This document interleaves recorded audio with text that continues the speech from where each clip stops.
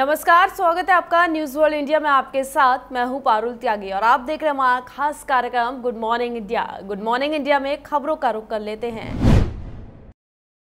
भगवान जगन्नाथ की 144वीं रथ यात्रा आज जवालपुर क्षेत्र में स्थित भगवान जगन्नाथ के मंदिर से निकाली जाएगी। आज रथ यात्रा की शुरुआत से पहले केंद्रीय गृह मंत्री अमित शाह ने मंदिर में मंगल आरती में हिस्सा लिया। रथ यात्रा में सीमित संख्या में कुछ निश्चिंत लोगों को ही हिस्सा लेने की अनुमति होगी और इस दौरान कोरोना वायरस संबंधित दिशा निर्देशों का भी पूरी तरह से पालन किया जाएगा। बता दें, कोरोना वायरस महामारी के मद्देनजर रथ यात्रा में केवल तीन रथों और दो अन्य गाड़ियों के अलावा किसी भी प्रकार के वाहन को हिस्सा लेने की अनुमति नहीं है।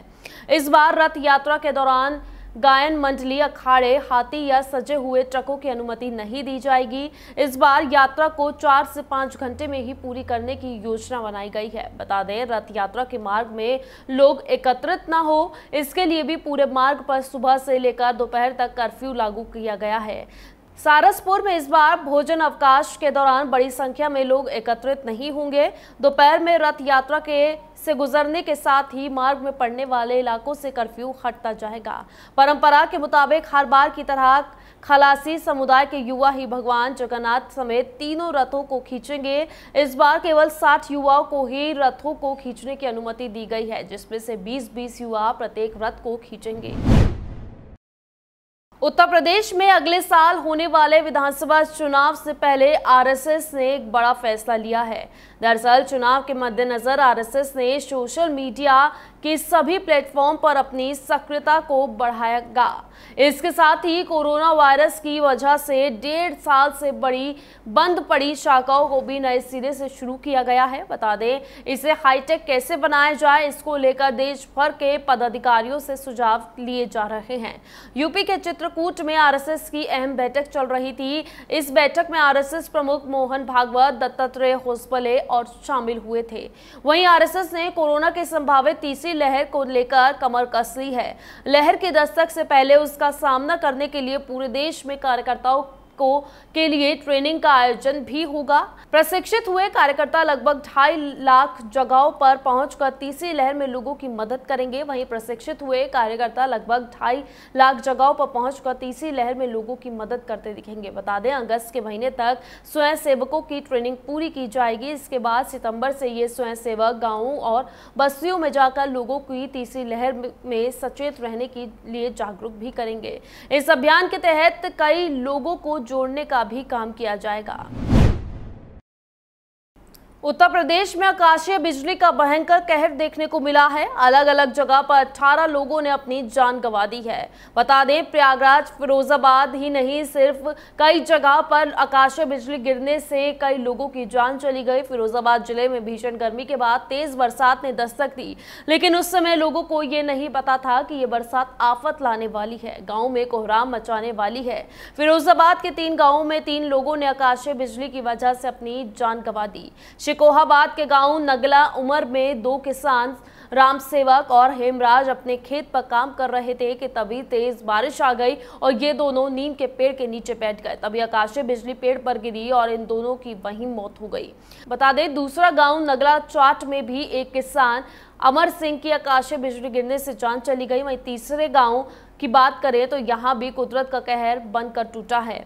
यहाँ एक किसान खेत में अपनी 42 बकरी और एक गाय को चरा रहा था। तभी बारिश के दौरान आकाशीय बिजली गिरी और 42 बकरी और एक गाय की भी जान चली गई।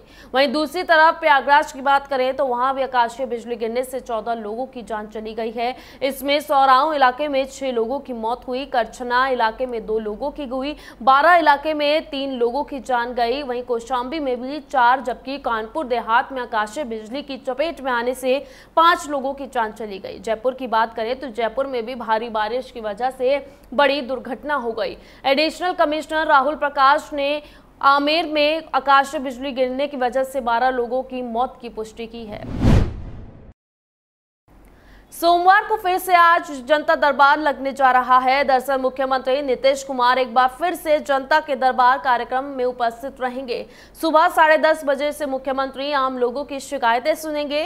कोरोना प्रोटोकॉल की वजह से इस बार का जनता दरबार थोड़ा अलग होगा। मोबाइल ऐप से शिकायतें लगाई जाएँगी और अधिकतम 300 से 400 लोगों की शिकायतें सुनी जाएँगी। मुख्यमंत्री सचिवालय स्थित संवाद कक्ष में जनता के दरबार में विशेष रूप से संरचना का निर्माण कराया गया है। संवाद कक्ष के चार गेट पर जनता दरबार में पहुँचे लोगों की जाँच के लिए डॉक्टरों को लगाया गया है। यहाँ उनकी थर्मल स्क्रीनिंग की जाएगी। जनता दरबार में आने से पहले संबंधित जिला प्रशासन द्वारा आवेदक का आरटीपीसीआर जाँच अनिवार्य रूप से कराना है। इसके आधार पर ही जनता दरबार में एंट्री मिल सकेगी।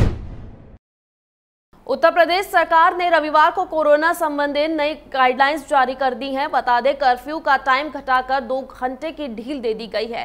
नए दिशा निर्देशों के अनुसार राज्य के सभी जिलों में सोमवार यानी 12 जुलाई से शनिवार और रविवार की साप्ताहिक बंदी छोड़कर सुबह छह बजे से रात दस बजे तक बाज़ार खुले रहेंगे। दुकानों और प्रतिष्ठानों को खोलने की अनुमति रहेगी। अभी तक सुबह सात बजे से रात को नौ बजे तक ही बाज़ार खुले रहते थे। मुख्यमंत्री योगी आदित्यनाथ ने रविवार को अपने सरकारी आवास पर आयोजित एक उच्च स्तरीय बैठक में कोविड 19 की स्थिति की समीक्षा के बाद ये फैसला लिया है। मुख्यमंत्री के निर्देश के बाद अपर मुख्य सचिव गृह अवनीश अवस्थी ने ये नए दिशा निर्देश जारी किए हैं। अवनीश अवस्थी ने बताया कि पिछले 19 जून को जारी आदेश के मुताबिक प्रदेश में सोमवार से शुक्रवार तक, यानी कि शनिवार, रविवार, साप्ताहिक बंदी सुबह सात बजे से रात नौ बजे तक कोविड प्रोटोकॉल के अनुपालन के साथ ही गतिविधियों के संचालन की छूट थी। कोरोना के कम होते मामलों और घटती संक्रमण दर के बीच देश के कई राज्यों में कोरोना लॉकडाउन में ढील दे दी गई है। दिल्ली, बिहार, उत्तर प्रदेश सहित देश के कई राज्यों में अनलॉक की प्रक्रिया तेज हो गई है।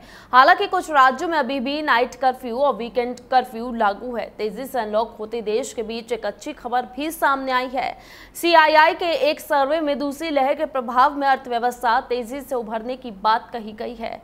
दिल्ली डिजास्टर मैनेजमेंट अथॉरिटी ने अनलॉक सात को लेकर गाइडलाइंस जारी कर दी हैं। इस बार एजुकेशनल और इंस्टीट्यूशनल ट्रेनिंग को ध्यान में रखते हुए राहत दी गई है। हालाँकि लंबे समय से सिनेमा हॉल थिएटर और मल्टीप्लेक्स खोलने की मांग कर रहे व्यवसायों को अभी भी राहत नहीं मिली है। अनलॉक सेवन के तहत दिल्ली में किसी भी तरह की ट्रेनिंग जैसे कि दिल्ली पुलिस आर्मी की ट्रेनिंग या किसी संस्थान की स्किल ट्रेनिंग कर्मचारियों की ट्रेनिंग और स्कूल कॉलेज से जुड़ी ट्रेनिंग के लिए छूट दी गई है। ऐसी ट्रेनिंग कराने के लिए अब डीडीएमए की की अनुमति नहीं लेनी होगी। पंजाब में आज से कोरोना नाइट कर्फ्यू और वीकेंड कर्फ्यू खत्म हो जाएगा। कॉलेज, स्कूल, कोचिंग सेंटर खुल सकेंगे।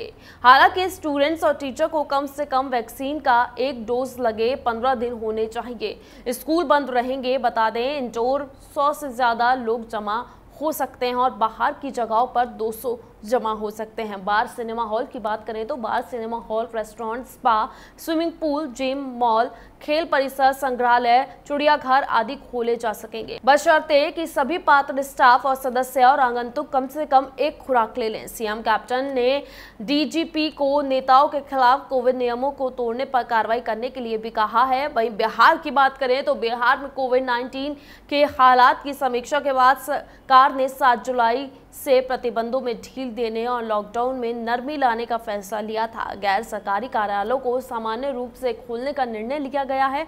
बता दें, टीका लगवा चुके आगंतुक कार्यालय में प्रवेश पा सकेंगे। विश्वविद्यालय, सभी कॉलेज, तकनीकी शिक्षण संस्थान, सरकारी प्रशिक्षण संस्थान, ग्यारहवीं और बारहवीं तक के विद्यालय पचास प्रतिशत छात्रों की उपस्थिति के साथ खुलेंगे। उत्तर प्रदेश की बात करें तो वहाँ सरकार ने रविवार को कोरोना कर्फ्यू में के लिए नए दिशा निर्देश लागू किए हैं और दो घंटे की ढील दे दी गई है।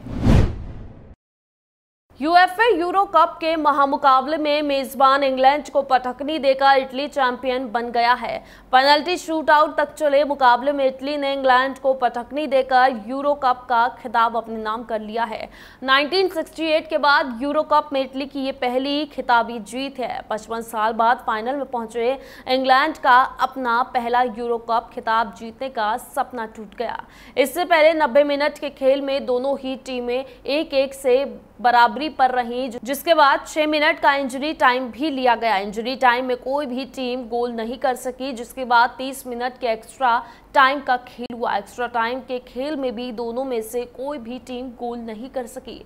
मुकाबला एक्स्ट्रा टाइम में भी बराबरी पर छूटने के बाद नतीजे के लिए पेनल्टी शूट आउट में इटली ने पाँच में से तीन दफे गेंद को गोल पोस्ट में डाला, जबकि इंग्लैंड के खिलाड़ी ऐसा दो दफे ही कर सके। इससे पहले खिताबी मुकाबले की शुरुआत ही रोमांचक रही। ऐतिहासिक बैम्बली स्टेडियम में मैच की शुरुआत के बाद दूसरे ही मिनट में ल्यू शॉ ने शानदार गोल कर इंग्लैंड को बढ़त दिला दी। इंग्लैंड ने एक शून्य से आगे होने के बावजूद पूरे मैच में ढिलाई नहीं बरती और आक्रामक खेल का मुजाहरा किया। पहले हाफ़ की बात करें तो पहले हाफ़ में समाप्ति तक इंग्लैंड ने इटली पर अपनी एक शून्य की बढ़त बनाए रखी थी। गुड मॉर्निंग इंडिया में। फ़िलहाल के लिए इतना ही। आप देखते रहिए न्यूज़ वर्ल्ड इंडिया।